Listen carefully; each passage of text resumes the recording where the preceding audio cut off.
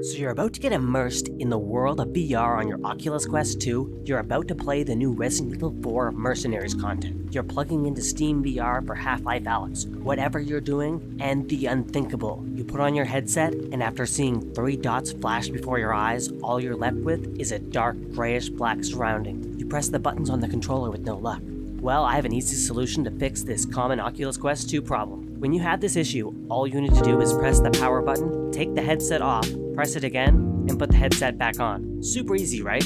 If the sensor to detect if the headset is being worn gets blocked, it seems to act up sometimes. The way I wear my headset, I find this issue is quite common for me, so I'm happy to share my fix to alleviate your headaches too. And if you're still here having issues, holding the power button down for 60 seconds is the equivalent to unplugging and leaving 30 seconds and plugging it in again trick, as in it will usually fix any problem if software is crashed or anything like that.